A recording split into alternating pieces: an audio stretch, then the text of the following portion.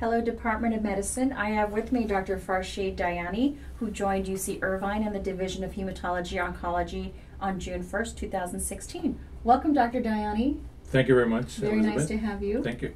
Um, I'd like to ask you a few questions. Uh, welcome to UC Irvine, and what is your current role in the Hematology Oncology Division?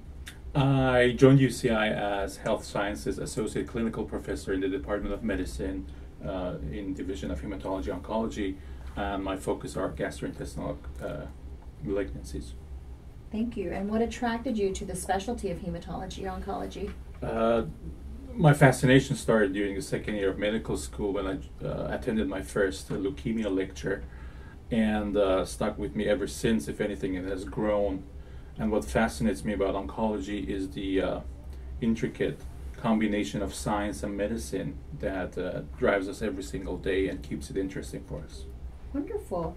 And would you share with the staff something special about hematology and oncology that the general population may not know about?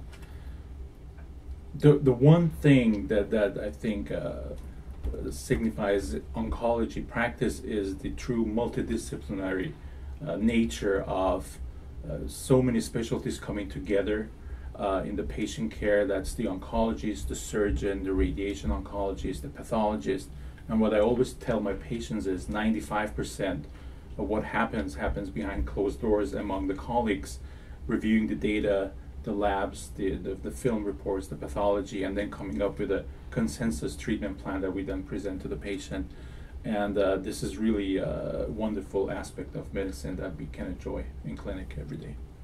Thank you so much, Dr. Dayyani, and welcome to UC Irvine. We are thrilled to have you in our division. Thank you very much. department. Looking forward.